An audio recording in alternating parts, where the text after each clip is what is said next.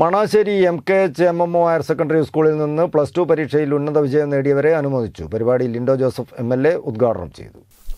Manassery M K H M M O higher secondary സ്കൂളിൽ നിന്ന് plus two പരീക്ഷയിൽ ഉന്നത വിജയം നേടിയവരെയാണ് പി ടി എ കമ്മിറ്റിയും മാനേജ്മെന്റും ജീവനക്കാരും ചേർന്ന് അനുമോദിച്ചത്. പരിപാടികൾ Linto Joseph M L A ഉദ്ഘാടനം ചെയ്തു.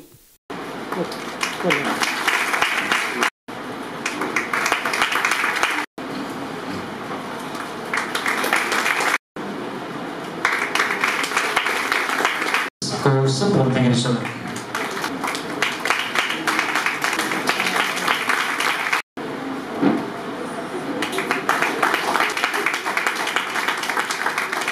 principal doctor O V Anoop അധ്യക്ഷനായി മുൻ പ്രിൻസിപ്പൽ സന്തോഷ് മൂത്തേടം മുഖ്യ പ്രഭാഷണം നടത്തി നഗരസഭാ councillor Bijuna Mohan Mukkan Saleem orphanage academic director P Abdu master P T A president Sadiq Koolimad vice president Lukmanul Hakeem orphanage girls higher secondary school principal P P Moinudheen M K O high school പ്രധാനാധ്യാപകന്റെ charge വഹിക്കുന്ന മുഹമ്മദ് ഇക്ബാൽ തുടങ്ങിയവർ സംസാരിച്ചു.